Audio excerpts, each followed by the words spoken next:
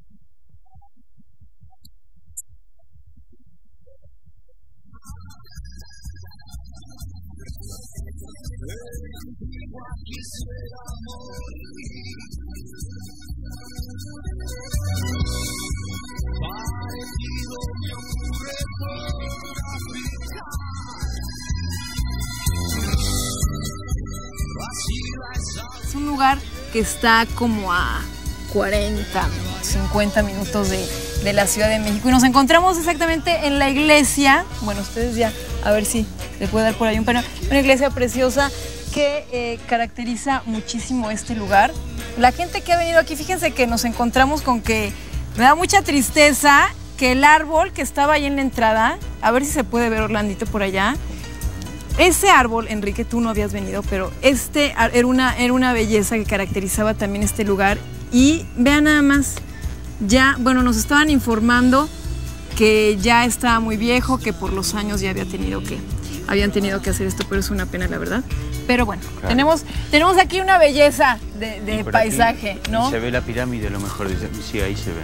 ¿Se puede ver la pirámide? Desde ahí. el- Íbamos a subir, pero ya como que, como que entre mis tacones y entre este y entre tus zapatos sí. no se va a poder, ¿eh? Y ya estoy muy mayor.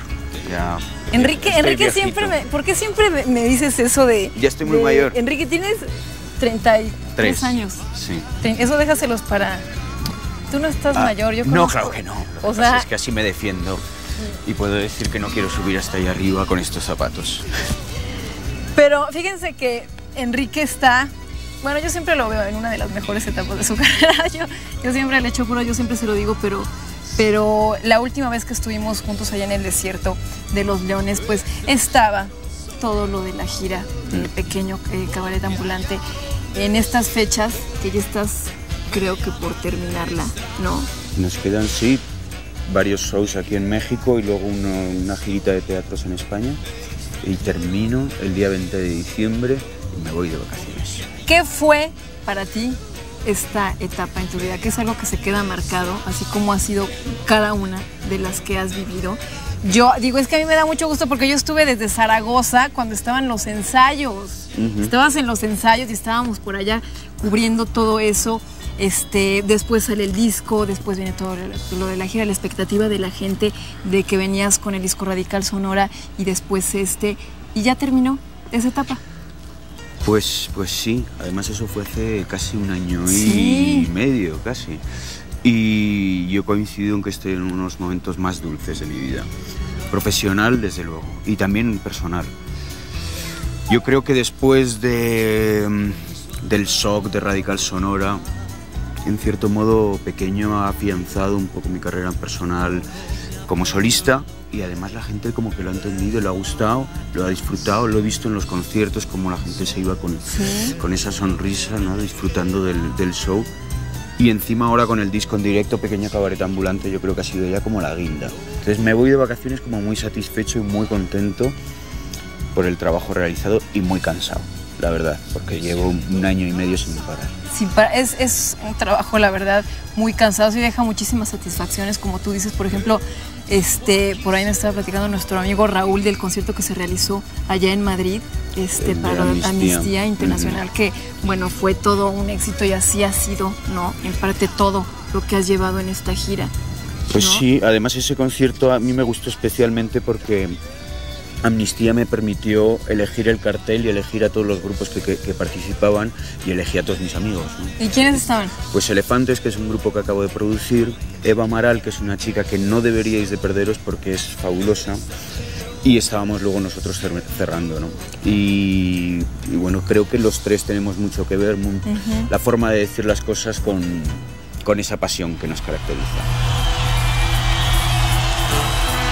Ciertos si algo vemos, no únicamente es, es, el ir a escuchar el disco ¿no? en vivo, sino es, va más allá, va más allá, va, va hacia coreografías, va hacia lo teatral, todo lo teatral que tú tienes también, Enrique. Pues sí, es un...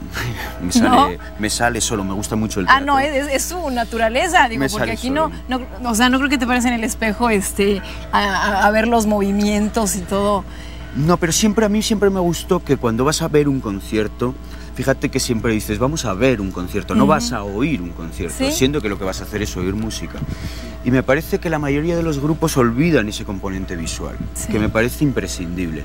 Porque para oír la música, pues mira, el, el CD suena mucho mejor. Claro. Que los, los conciertos. Sí, la pasión de un músico tocando, pero tiene que haber algo más. Yo no soporto los grupos que van y se ponen así delante del micro, con la cabeza agacha, todo el concierto y lo has visto cinco segundos y ya, lo puede, ya puedes mirar para la barra, que seguro que las chicas que ponen las copas son más interesantes que, que el tipo del escenario. Yo eso no lo soporto. A mí me gusta que haya, que pase algo en el escenario. Si el grupo no ofrece nada porque el grupo no se quiere mover, bueno, que ofrezca diapositivas o unas luces, una escenografía, algo. Por eso me gusta cuando voy a ver a Bjork, por eso me gusta ver a David Bowie, por eso me gusta ver los vídeos de, Elvis Presley. Gente que en el escenario es una presencia realmente fuerte. Esos son mis, mis grupos favoritos, ¿no? los que tienen algo de plástico o algo de, digamos, de mm, dramático. Que todo este tiempo Gustándome. Eh, lo que me resultó difícil hacer la combinación que yo quería hacer y creo que me quedé a mitad de camino, que no lo llegué a hacer del todo. No descarto investigar en algún momento más por ahí. Pero ¿no, no, no crees que, que, eres también de alguna manera muy, muy crítico contigo mismo? Claro que sí para mí todos los discos que he hecho son entre malos y regulares. Es bastante crítico entonces con, con él mismo, porque a veces tenemos esa, no somos muy tolerantes ¿no? con, con lo que hacemos con, con, nuestro trabajo. La gente de fuera lo puede ver como una gran obra, ¿no? Pero tú siempre te quedas con algo de insatisfacción a lo mejor. No, yo con mucha insatisfacción y de hecho creo que eso es la base para que continúe teniendo ilusión por hacer las cosas. Si pensara que lo hago bien, pues no sé, estaría ya acomodado sentado en mi sofá diciendo, bueno, voy a hacer otro disco. Rin Ran Run ya lo tengo. No, no, no le daría tanta importancia, ni pensaría tanto, ni, ni haría, ni correría los riesgos que, que corro con los discos que hago. Haría siempre el mismo disco pensando, bueno, si ya llegué al top, esto es, lo que tengo que hacer es repetirlo. Claro y no, no, no, quiero hacer eso. Es que es lo, yo creo que es lo más importante de, de, lo que siempre nos ha enseñado Enrique, el, que, el no repetirte, el no repetirte a ti mismo, que yo creo que también esa es una de las facetas este, que vienen con la evolución que tiene uno como persona, ¿no? Con la ideología, con... Híjole, es que son muchísimas cuestiones, ¿no? Las que traen ese no repetirse en, en, en su arte, ¿no? Pues, pues sí, es que de hecho mi ideología es que la vida es un juego y que hay que jugarlo y hay que, hay que divertirse. Y yo me aburro si repito lo mismo. Tengo que hacer cosas diferentes y, tener ilusión por las cosas y pienso que, la música es, es, algo muy grande. A mí no solo me gusta una parcela de la música, creo que se puede además enfocar todo de formas diferentes, sino no siempre lo mismo. Es que hay tantos grupos además que una vez que hacen un disco que funciona repiten esa fórmula. Sí, es cierto. Que a mí me da pena por ellos porque es como que perdieron la pasión o perdieron algo en el camino, ¿no? Sí, es cierto. Sí, y es este importante encontrar este tipo de, de, propuestas, ¿no? De alguna manera como la tuya, personas como tú, que, bueno, de alguna manera están evolucionando mm. en todos los sentidos como... Mira, otro grupo que me gusta mucho y que creo que en cierto modo eso sí que lo tenemos en común es Café Tacuba. sí, cada disco claro, dices, claro, a ver qué es lo que nos ofrecen. Existe, a, mí por lo menos como fan del grupo, yo tengo ganas de que saquen un disco para ver qué han hecho. Claro. Porque realmente puede ser una sorpresa. Mm, hay otros grupos que no vamos a citar que de repente te vas a comprar el disco y sí, oye, más o menos te gusta, pero sabes exactamente cómo va a sonar. Claro. Eso es lo bueno de Café Tacuba. Me parece que, por eso me parece el mejor grupo mexicano. Sí, sí, es cierto. Son de alguna manera impredecibles, ¿no? Y como tú dices, el no saber qué vas a esperar, ¿no? Musicalmente, ¿qué, qué, es, lo que qué es lo que espera finalmente el público y los fans? De alguna manera, este, alguna gente puede decir, bueno, es que puedes perder al público que ya tenías. No, no es cierto. No, ese público no lo pierdes porque el público está enfocado. Tiene, alguien que le gusta la música no tiene que estar enfocado a la persona, al artista. Y eso es la forma de ver la botella medio vacía, porque la forma de ver la botella medio llena, positiva, es, bueno, podemos ganar público. Claro. Claro. O sea, si haces otra cosa diferente, otro enfoque puede de repente acercarse a tu música a gente que hasta ahora no se había acercado. Claro. Esa es mi forma positiva de ver la vida que Enrique anda muy positivo, a mí me da mucho gusto porque, y, se le ve, se te ve Enrique. Claro, estoy muy contento. Que estás muy contento con los resultados que ha tenido todo esto, aparte con, con los planes que tiene, ¿verdad? En unos momentos vamos a enseñar y todo por allá, este, el, disco que trae, porque no se va de vacaciones sin, sin dejarnos por ahí este disco y videos nuevos también, pero ya viene el fin de año, una etapa este, muy importante yo creo que también para ti, porque te gusta mucho el estar en lugares este, lejanos, raros, de los que aprendes siempre mm. algo.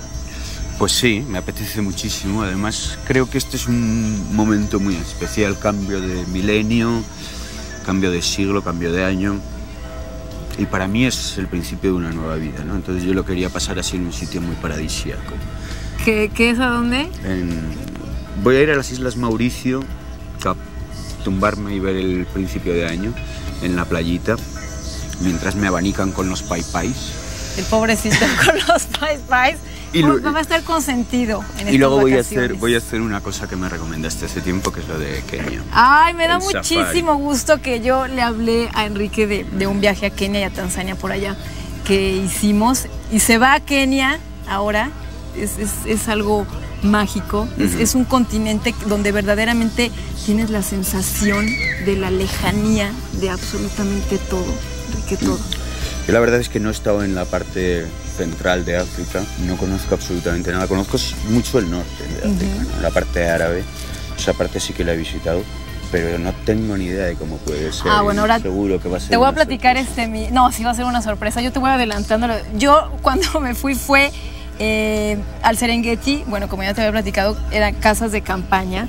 Este, algo vulnerables, ¿verdad? yo veía ahí como que se podía meter una lagartija, se podía meter también una víbora y se podía meter también cualquier otra cosa, pero... Y un león muy Y un león, ah, no, y no puedes salir después, hay reglas, no puedes salir después de las seis, siete, seis y media por ahí, porque no pueden ellos cercar la zona porque están afectando, claro, cómo viven los, los animales y todo. Pero ya llegando exactamente ahí, a la, veo un papelito ahí en la casa de campaña y unas letritas así, espero que disfruten su viaje aquí, unas letritas, firme aquí porque no nos responsabilizamos por su muerte, te lo juro. Entonces ya tienes que firmar el papelito. Son riesgos que corres. Claro, todo placer conlleva un riesgo y un sufrimiento y sacrificio. Pero habrá que aceptarlo. No, no, no, y le firmas, porque yo te lo aviso desde aquí, a mí me lo avisaron ya que estaba yo ya adentro y ya no me podía ni quejar pero es un viaje maravilloso que, vale mucho la pena y que te, a ti como artista te va alimentando de una manera eh, impresionante. Yo espero que vuelva con las dos piernas, que no entre ningún león en mi tienda de campaña. Te tienes que poner tus vacunas, te tienes que ir vacunado. Bueno. De la fiebre amarilla, te tienes que tomar tus pastillas para la malaria. Sí. Que se vacunen ellos contra.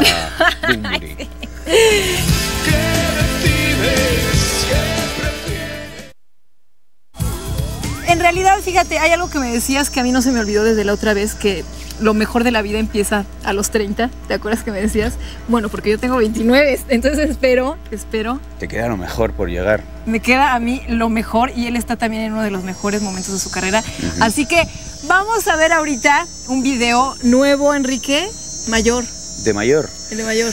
Para que nos platiques de él ahora Bueno, con este recorrido. La verdad es que últimamente yo estoy así como descuidando muchísimo los videoclips. Y bueno, este es un videoclip medio en directo con De- unos descu- niños. descuidado y- en qué- ¿Descuidando en qué sentido? Como... que realmente me gustaría. Me gusta mucho el mundo del videoclip, pero me aburre mucho los videoclips que veo por la televisión. Sí. Me aburre mucho los videoclips de chicas en bikini y, y los videoclips en los que tienen que salir todos los artistas como si salieran recién salidos de la tienda de Armani y todo así. O sea, me parece como que son todo muy falso, ¿no? Entonces Sí. pienso, bueno, ante eso mi actitud es o hago algo creativo como lo que están haciendo Café Tacuba, que hacen vídeos muy interesantes, o simplemente salgo como soy, un tipo que se sube a un escenario y canta. Claro. Y eso es lo que estoy haciendo últimamente. Que bueno, hizo, ya saben, el de Infinito, bueno, que ya lo vieron y revieron y, y que está muchísimo ahí en Telehit, que lo hiciste en El- Garibaldi, ¿no? Mm, no sé, Fue ahí fue en en una, una cantina, cantina. cerca del Zócalo.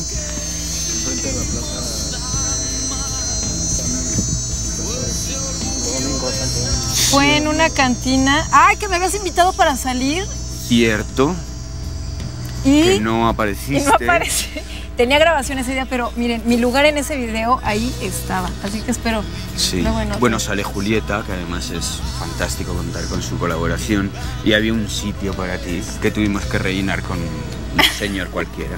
¡Ay, vean! En lugar de decir ya no se hizo nada porque no estabas tú. No, hombre, tuvimos que salir del sé, paso, pero sé, sé. Hubiera No.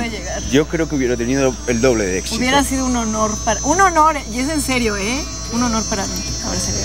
Pero espero, ¿verdad?, que en sus próximos videos este, me tome en cuenta.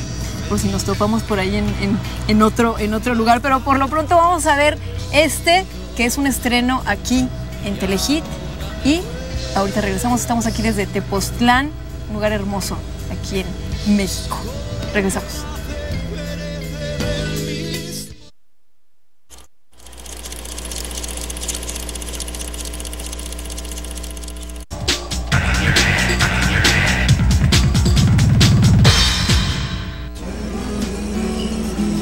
Busques tu futuro.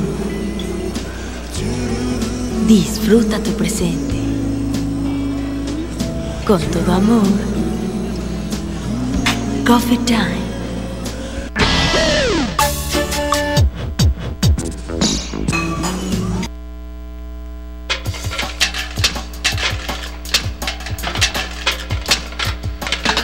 Te vamos a meter. ¿Cuánto te queda? Y continuamos aquí en Tepoztlán de- después de ver el video mayor, fue al que mandamos, ¿verdad? Ahora estamos en el Ciruelo, que es un restaurante, este, una comida riquísima, que en un rato vamos a, a ver qué le parece a Enrique lo que, lo que sirven por aquí. Seguro que está rico. No, aparte Enrique, fíjense que, que le gusta todo lo que, lo que es mexicano, tanto la, la arquitectura. Tú, tú eres muy chilango, eh, déjame decirte, Chilango es del DF. del DF. Sí, A, mí, a mí el DF me encanta. Pero yo he hecho muchos viajes por el sur de México y me, me encanta toda la zona maya ¿no? de, de México. Y Oaxaca es maravilloso, no solo las playas, la montaña, también eh, Chiapas, eh, en el otro lado Quintana Roo, Yucatán, todo eso me gusta mucho. Pero el DF es mi DF. Es del DF, sí, o sea, un poco chilango sí que soy. No, sí, aparte que este debemos de apreciar, la verdad, la, la cultura, la cultura que tenemos, todo lo, la historia que tenemos aquí. Tú, por ejemplo, has viajado muchísimo, ¿no? Y uno aquí debe de apreciar en serio todo lo de lo- el bagaje cultural que tenemos. Es que yo creo que además lo bueno que tiene México, y perdón que lo compare con España, creo que ambos países tienen una diversidad cultural y diversidad paisajística y de, de riqueza. No es lo mismo estar en el sur de España o de México que estar en el norte. Sí, o sea, de sí, repente no. ves cosas radicalmente diferente. El desierto, la jungla, la cultura maya, la cultura azteca, cosas mm, muy, muy diferentes en México. Es la riqueza que tiene este país, es, es increíble, maravilloso. Además me parece también muy, muy importante, este, de que yo creo que tú, por ejemplo, te, hay, hay problemas ¿no? políticos, eh, sociales en España, hay problemas también políticos, sociales aquí en México, y que tú de alguna manera te preocupes y te, y te intereses, por ejemplo, por el conflicto en Chiapas, ¿no? por todo lo que ha sucedido, por todo lo que ha pasado. ¿Tú como artista sientes alguna responsabilidad ante, ante eso, como líder de opinión? Eh, es complicado eh, transmitir exactamente lo que pienso, porque en cierto modo yo creo que, que los músicos recibimos tanto de la gente que en cierto modo yo creo que, que hay que devolverlo de alguna forma.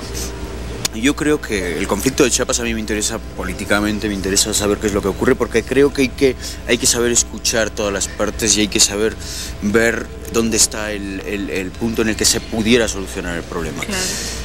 Pero en cuanto a lo que dices de responsabilidad, yo por lo menos sí que siento una responsabilidad con respecto a mi, a mi propio país. Yo creo que me ha, me ha dado mucho el público, tengo que devolver algo de alguna forma, ¿no? Creo que si puedo hacer algo por los, los menos favorecidos. Es, un- es algo- no sé si es un sentimiento de culpabilidad judío-cristiano que tengo ahí inculcado de pequeño, De pequeño. pero sí, si gano mucho dinero pienso, "Mm, no me lo puedo merecer todo, tengo que dar un poco. Es una obligación. Por eso me, me- me parece importante el estar al tanto de la gente menos favorecida. Claro, claro, digo, ahora, por ejemplo, el, el concierto que realizaste en Madrid con todo lo de Amnistía Internacional, ¿no? A lo mejor hay mucha gente que no está enterada de que tú estás interesado en, en- en este tipo de cosas. Era una campaña. La campaña de este año de amnistía es contra la tortura. Es algo que realmente es complejo y que siempre pensamos, no, no, esto no ocurre aquí, esto no ocurre en, en mi país. Y investigando un poquito me empezaron a comentar historias de cómo de repente hay armamento, bueno, armamento, no sé cómo llamarlo, instrumentos de tortura que se fabrican en España y se venden a países del este o se, o se venden a otros países y dices, Dios mío, mi país permite esto.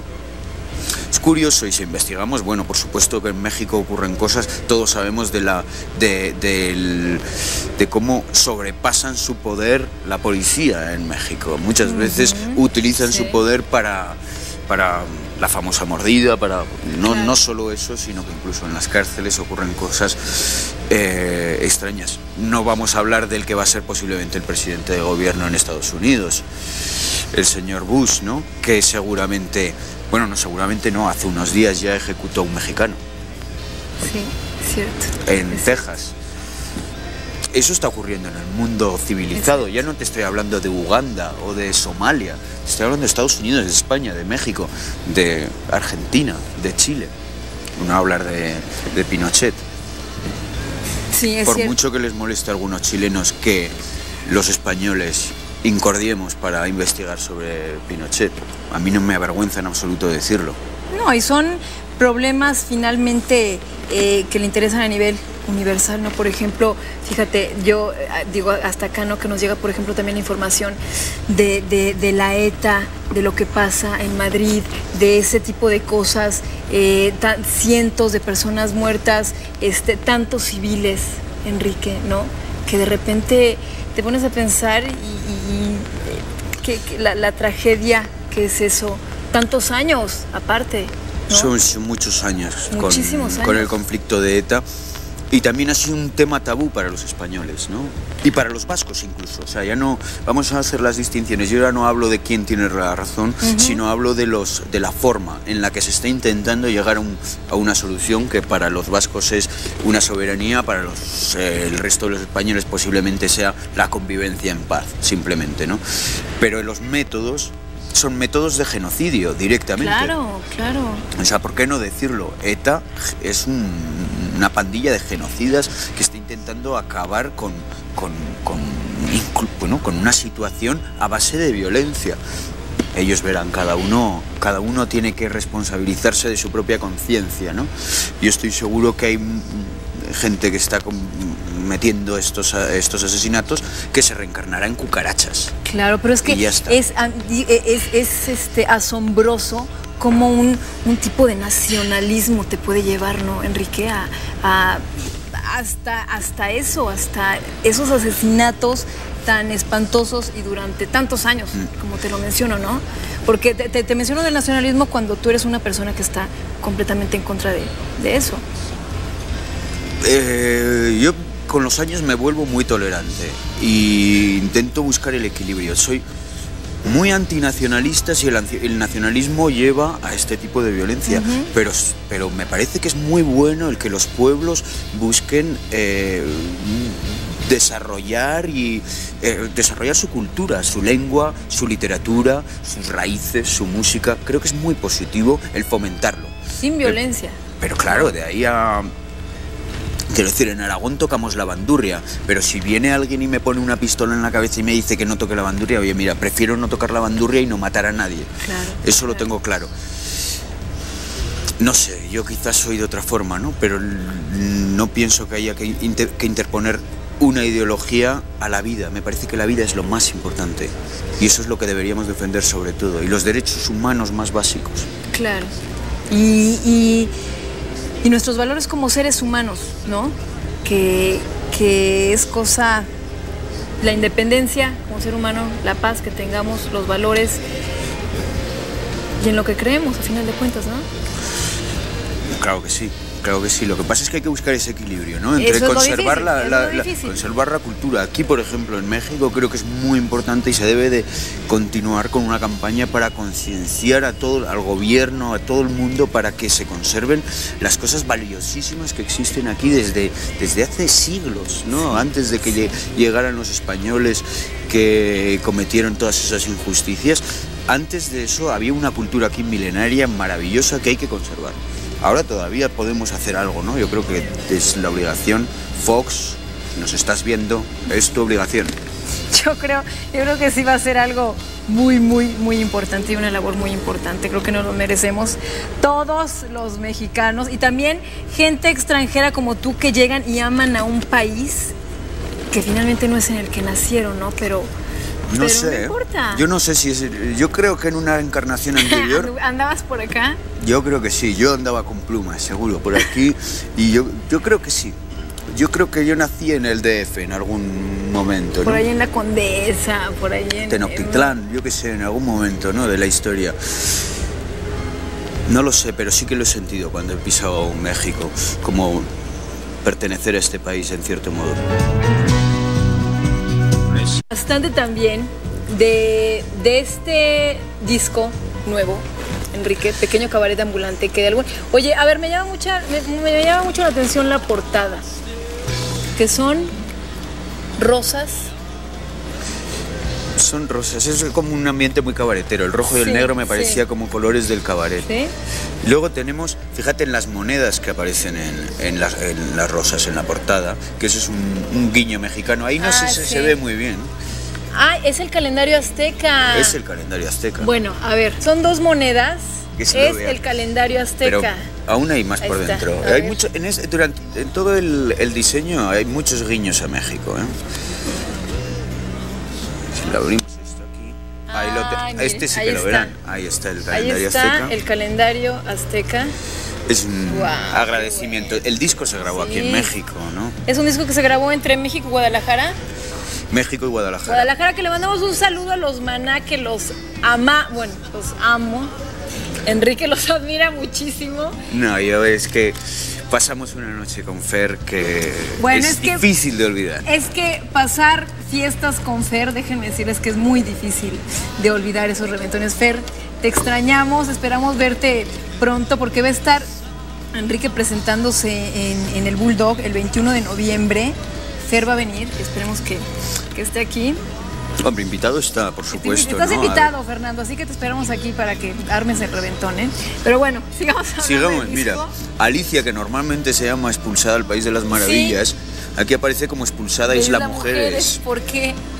Porque me llamaron los de la compañía y me dijeron, bueno, como es una versión diferente, que hay una cuestión legal en la que, tendría que tenía que poner otro tipo de, de nombre, había que cambiar el nombre, entonces dije, vamos a cambiarlo. Había dos canciones que había que cambiar el nombre, una era de Alicia, y entonces le puse entre, pasado- en- entre paréntesis, expulsada Isla Mujeres, Y otra que es demasiado tarde, que le pusimos entre paréntesis ahorita mismo, que es yo no sé si ustedes se dan cuenta, pero para mí es un verdadero chiste mexicano lo de ahorita mismo. ¿Ahorita mismo? Sí, porque nunca llega. sí, mucha, muchos extranjeros nos dicen eso, fíjese. Pero, ¿sabes qué? Aquí hay dos canciones, Salomé y Alicia, de Radical Sonora. Un disco que yo no sé, de alguna manera tenías como que ya, aparte de, de tu vida, de tu carrera, son nuevas versiones. ¿No? Sí, creo que hay una más. a ver si me equivoco. No, y Big Bang. hay tres de... tres de Radical Sonora, que fue el primer disco como solista. Las versiones son... Las versiones del cabaret ambulante. Son como más... No sé. Entre Las Vegas y... Y Barcelona, ¿no? Una mezcla entre el Mediterráneo y Big Bang, por ejemplo, que es así como muy funky, muy Elvis Presley, decadente en Las Vegas. Me tengo que hacer un traje de lentejuelas. Esta es una banda como si fuera de, otra época, ¿no? Como si nos remontara por allá a, otros tiempos. Sí, pero siempre mirando a ese como ese local o ese café cantante de puerto en el que se juntan culturas de diferentes países. No es como en Tánger, en Cádiz, en Barcelona, en Buenos Aires, esos puertos que de repente reciben a gente de culturas muy diferentes, razas muy diferentes, acaban en esos lugares así de dudosa reputación. Y les une simplemente la música, una música que es como muy bastarda, como un híbrido. Que eso es un poco lo que estoy haciendo, ¿no? Una mezcla de muchas cosas que no sé si tienen algo que ver o no, pero que se juntan en este puerto que es el pequeño cabaret ambulante. El pequeño cabaret, que bueno, ya mencionamos que bueno, que es un disco en, completamente en vivo, ¿verdad? Sí, todo en vivo. ¿Por qué el hacerlo en México en vivo? Es que el otro día se lo comentaba a un periodista y me decía, bueno, eso es cuando vayas a Japón supongo que también lo dirás, ¿no?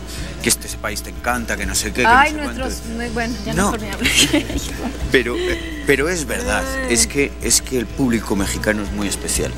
Entonces nosotros lo sabíamos y pensamos, bueno, vamos a grabar, en vez de grabar en España, que sabemos, sí, tenemos un público asegurado, el público español me sigue desde mucho tiempo, incluso antes del público mexicano, yo soy de allí, ¿no?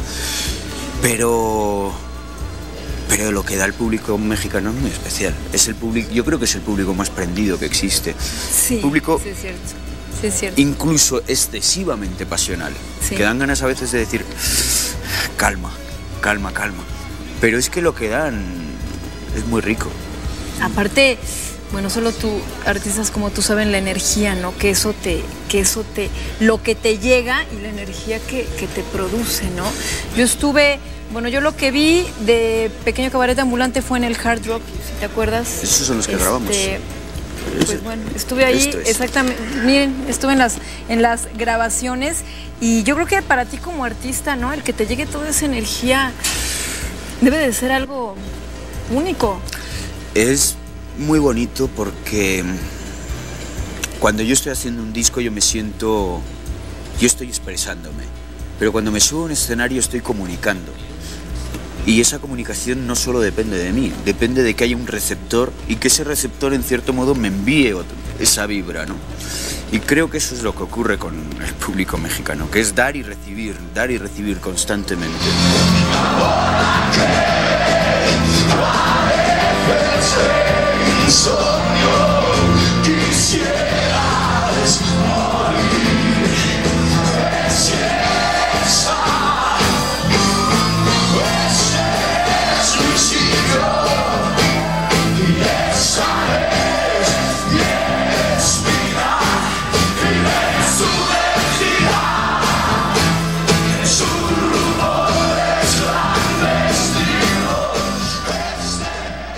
¿Crees que en este momento, en, un escenario, eh, detrás, a lo mejor del escenario, detrás de cámaras, eres, eh, eres la imagen de Enrique Bungurio, todavía te pones caretas de repente en algunas ocasiones?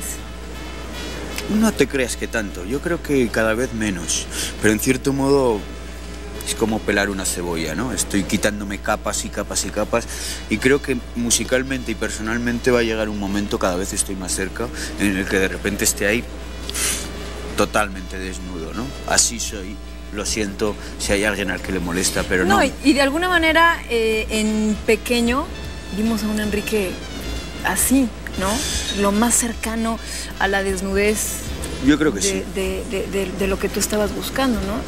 Yo creo que sí. Yo creo que no hay disco en el que me encuentre más a flor de piel. Y bueno, yo creo que musicalmente todavía me queda. Pero en los textos sí que estoy ahí. Estoy reconociendo todos mis defectos y cómo soy, y mi debilidad y mi fragilidad y, y lo fácilmente der- herible que soy y cómo me puedo romper en mil pedazos. Era, era de las contradicciones que yo también en, en la entrevista del Desierto de los Leones platicaba con Enrique, una gran contradicción al ver a un hombre en el escenario completamente seguro de, de sí mismo y a la vez con otro lado tan, tan frágil, ¿no? Es que el ser, la, la naturaleza del ser humano tiene tantas caras, tenemos tantos lados eh, a veces fuertes, a veces y tan ocultos a la vez, ¿no? Es una contradicción, pero en cierto modo a lo que he aprendido es admitir mis contradicciones y decir, sí, soy contradictorio, sí, no soy un ser coherente, rígido, fundamentalista, que opina de una forma y no se mueve de ahí y actúa y piensa de la misma forma. No, pues hay veces que me equivoco, hay veces que pienso de una forma y actúo de otra. Soy contradictorio. Pero eres un hombre que, que hemos visto madurar desde el, el chavo que estaba en Héroes del Silencio Mm. hasta el Enrique que tenemos ahorita, que tampoco, tampoco te me creas tan viejo, ¿eh? porque tú tienes, este hombre tiene, tiene por ahí una manía de, de, este, de los años que tiene, que bueno, No, es... eh, en cierto modo así como... como que que han pasado los años, me siento pues más mayor. Tengo 33 años, tengo la edad que tengo, quiero vivir como la edad que tengo, ¿no? En cierto modo. Y todo lo que y todos los sueños y todas las expectativas y todo lo que y todo el futuro que viene piensas a veces en eso o vas viviendo día a día lo que te va aconteciendo No, sí que he pensado en, en el futuro, en hacer... Hay muchas cosas que me gustan en la vida, ¿no? Mira, yo por ejemplo no me he sacado el carnet este de submarinismo. Ay, no, todavía. yo ya. Yo todavía soy un submarinista pirata, en cierto modo, ¿no? Ilegal. te voy a invitar un día eh A mí me- es una de las cosas que más me gustan del mundo, el mar. Sí, Y eso sí. me gustaría en un futuro, pues sí. Un restaurante, me gustaría dedicarme a la gastronomía. ah sí Sí, montar un restaurante, ser cocinero y hacer platillos a los turistas. miren ese lado que no conocíamos de Enrique eh, para que vean eh No cocino mal, además. cocinas bien Bah, más o menos me defiendo bien. pero que muy tipo español o Muy tipo español, mediterráneo. Este un mole poblano no te lo puedes No, mole ¿verdad? poblano, no. Uno Yo creo que un mole, un- mexicano un mole tienes un misterio ya, ¿no? No, no creo que sea tan fácil. digo, nuestra cocina es... No, y, y al rato va a ver lo que le vamos a servir de comer en este restaurante, que es uno de, ya le dije, de, de los exclusivos aquí en Tepoztlán, que se llama El Ciruelo. Pero ah, bueno, pero hablando de, de todo esto, finalmente, en este disco, Enrique eh, para ya la gira y se pone... Bueno, sale otro, por ahí tenemos algo que sale otro en febrero, Sí, sale el disco de mm, recopilatorio de héroes. recopilatorio. Ya tenemos uno ¿Un disco? anterior, Ah, un no. recopilatorio de héroes. Bueno, el disco está en directo. No, no, Sí. el recopilatorio este es la primera vez que sale uno. El, salió un directo que a mí me parece horrible de malo. Pero bueno, Fíjate, por ahí había una cosa que había que aclarar. Por ahí creo que ayer te estaban preguntando que, que tú habías dicho que no ibas a volver a tocar canciones de Héroes del Silencio. Eso creo que nunca lo... Y, y- y te dijeron, y interpretaste unas canciones de Héroes del Silencio en el concierto. Tú nunca dijiste No, que no, no. finalmente las canciones de Héroes del Silencio son del Señor. Entonces, este... no sé por qué no voy a poder tocar mis propias canciones, ¿no? Sí puedo tocar una canción de Andrés Calamaro encima de un escenario porque no voy a poder tocar las mías. Exactamente. No, yo creo que mi vis- visión de eso es que lo que quiero es tocar solo las canciones que tengan que ver con el disco que esté presentando. En este caso estoy presentando Pequeño Cabaret Ambulante tomo unas canciones de Héroes del Silencio, les doy un poquito la vuelta y las visto del pequeño cabaret ambulante. Y hay algunas que funcionan y otras que no. Entonces no depende de que me guste más una o que otra, me guste otra, sino que funcione dentro del espectáculo. Y funcionan tres, o funcionan dos, o funcionan cuatro. No sé cuántas funcionarán. Ahora tres o cuatro. No, pero yo, yo lo he visto, este, lo vimos ahora, les digo, en, en lo del hard rock. Y este y funcionan bastante bien. De hecho, en el pasado Festival Vive Latino que se realizó en la Ciudad de México, allí en el Foro Sol, fue uno de los artistas eh, de los que mejor, de los que mayor éxito tuvo, Enrique. La gente me trató muy bien. Muy bien, muy, muy bien. La verdad es que yo salí un poco con disgusto por el sonido, porque no, no No sonaste bien. como tú hubieras querido. No, nos sonamos directamente eh, fatal. ¿Qué pasa ahí cuando acaba todo? Te, te... Yo me sentí muy mal, ¿no? Con, con eso, me enfadé además mucho. Pero creo que la gente no, no...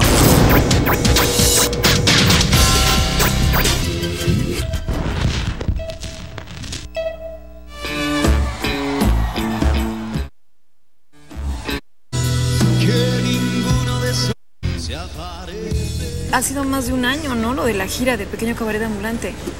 Pues 15, 15, 16 meses. 15, 16 meses. Mucho tiempo En los que ya estás bastante agotado, ¿no? Yo estoy, la verdad es que estoy muy cansado ya. No, no es que esté cansado de subirme al escenario, estoy cansado físicamente. Físicamente. Que necesito descansar. Eh, bueno, ya, ya, ya falta poco. Vamos a, fíjense, vamos a ver ahorita, antes de, de despedirnos, el otro video que tenemos, que es Viento a Favor. ¿Que te aventaste los dos juntitos o qué? No, el viento a favor es un... Yo eh, eh, me metí en el mundo de la dirección del vídeo con dos, con el viento a favor y con uno que eh, rodamos de infinito en una taberna en España. Sí. Ah, en la taberna que yo estuve, allá en Zaragoza. Ese, el de Oasis, Sí. se llama el sitio. Pues esos dos, eh, con la colaboración de unos, de, de los hermanos del batería que tienen una empresa de video, pues hicimos un- algo que realmente tenía que ver con la canción. Yo quería hacer videoclips que tuvieran un sentimiento que yo había transmitido componiéndola, ¿no? Sí, Y esta canción además es una de mis favoritas, la del viento a favor. sí. Ya, ¿te acuerdas que habías trabajado con tu hermano en Salomé y en Alicia? Sí, pero mi hermano ahora está, está muy ocupado. Como para muy buenos videos. eh. Muy, muy buenos videos. Sí, Alicia mi hermano es muy bueno. Lo que pasa es que ella no quiere hacer vídeos. Está con la familia, con claro, tiene... Todos nos vamos haciendo mayores y tenemos así otras cuestiones que nos ¿Eres tú muy interesan. ¿no? familiar? ¿Sí ves, ves a tu familia seguido o de repente soy- hay ese alejamiento? Soy muy poco familiar. Sí, sí. Más que nada porque tampoco tengo la ocasión, ¿no? Estoy viajando siempre, me gusta mucho viajar profesionalmente y luego encima cuando me voy de vacaciones pues también no me quedo en mi ciudad, en Zaragoza, me voy a... Todos viven en Zaragoza. No, mi hermano ahora vive en Madrid, mi hermana vive en Salamanca, cada Puedes uno... saber muy poco. Sí, la verdad es que... Bueno, ahora cuando voy a Salamanca a tocar veo a mi hermana, cuando voy a Madrid a tocar veo a mi hermano.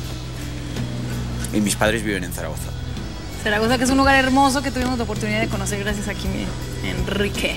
Así que vámonos a ver este viento a favor y regresamos aquí, miren, desde este paraíso y desde este lugar tan hermoso que tenemos a nuestras espaldas, el Teposteco, y regresamos, no se.